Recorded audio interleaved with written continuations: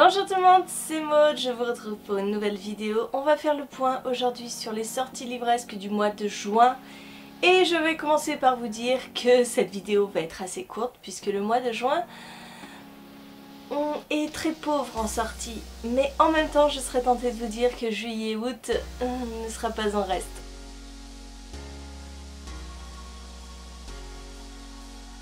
Commence tout de suite avec le 6 juin où sortira Celui qui dessinait les dieux de Alain Grousset paru chez Scrinéo. Nous sommes ici dans une période de l'histoire assez peu reprise en littérature puisque nous sommes à la préhistoire avec les dessins rupestres que l'on trouve sur les murs des grottes.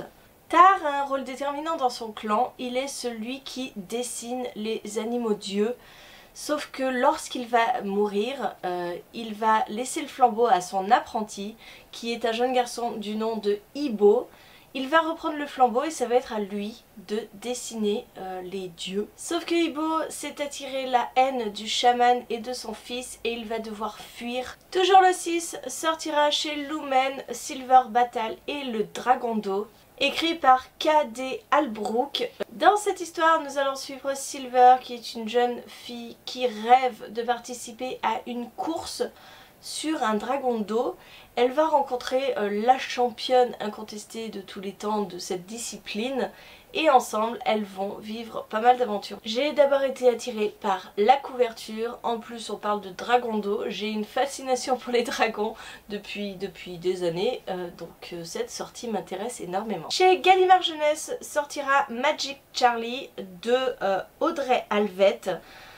Euh, nous allons suivre euh, Charlie qui découvre que sa grand-mère est une magicienne sauf qu'elle a euh, complètement perdu tous ses souvenirs. Celui qu'on appelle le cavalier lui a volé tous ses souvenirs et donc Charlie va se mettre en quête de rendre ses souvenirs à sa grand-mère. Et dernière sortie du 6, il s'agit du tome 2 de Le Passageur de Melandoris. Ce tome 2 s'appelle Le Journal le Serpent.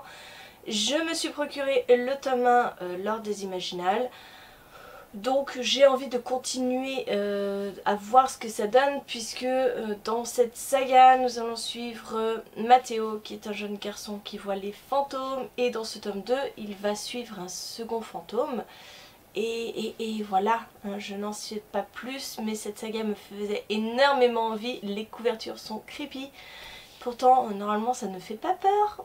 Et je vous en parle bientôt pour le tome 1. On passe au 12 juin avec Les Faucons de Ravera, le tome 1, La sorcière captive de Melissa Caruso. C'est une sortie de la nouvelle collection Big Bang de Brajlon. Et euh, nous sommes dans un univers de fantasy où euh, la magie est très rare, mais euh, elle est assez vite détectée et quand on la détecte, on envoie la personne qui a cette magie euh, dans le régiment des faucons. Et on va euh, suivre une personne qui je crois euh, a réussi à cacher sa magie et, je n'en sais pas plus. Le 13 sortira le tome 2 du club de l'ours polaire écrit par Alex Bell. ce second tome c'est Le Monde des Sorciers. Je n'ai absolument pas lu le premier tome même s'il me faisait énormément envie à cause de sa couverture. Le second tome est aussi très beau. Euh, je, pense que je me le procurerai dès que je le trouverai euh, en occasion. Mais euh, c'est une sortie qui me fait très envie, mais encore faut-il que je commence par le tome 1. Le 19 juin sort le tome 8 de The Promised Neverland. Je suis à jour de cette saga, j'ai lu le tome 7 durant le mois de la fantaisie, donc en mai, là, tout récemment. Été encore une très bonne lecture, j'ai hâte de connaître ce qui va arriver à ces orphelins qui, qui, de sauver leur peau puisqu'ils se sont rendus compte que leur orphelinat n'est finalement pas un orphelinat classique et que, et que leur vie est en danger. J'aime beaucoup beaucoup cette série de manga donc le tome 8 sera à moi en juin. Et pour finir sortira le 20 juin marqué le tome 2 de euh, Alice Broadway. J'ai le tome 1 dans ma palle. Euh, l'idéal ce serait que je le lise avant la sortie du tome 2. Mais est-ce que j'aurai le temps? Je ne sais pas. Nous sommes dans un univers de fantasy où chaque personne a sa vie tatouée sur sa peau. Donc tous les grands événements de sa vie sont sur euh, leur peau. Et à leur mort, on fait un livre avec euh, cette peau qui eh bien, retranscrit toute la vie de la personne, sauf que la jeune fille dans ce livre, je ne me souviens plus du nom, lors du décès de son père, va se rendre compte qu'il manque pas mal d'éléments de la vie de son père sur le livre. Et elle va, je pense, enquêter. Je ne sais pas du tout la tournure que va prendre cette histoire puisque je n'ai toujours pas lu le tome 1. Mais le tome 2 me fait très envie. Voilà, je vous ai dit, cette vidéo allait être courte. J'ai déjà terminé ma liste.